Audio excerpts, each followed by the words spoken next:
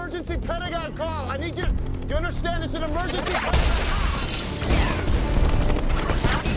I don't have a credit card. Sir, the attitude is not going to speed things up any bit at all.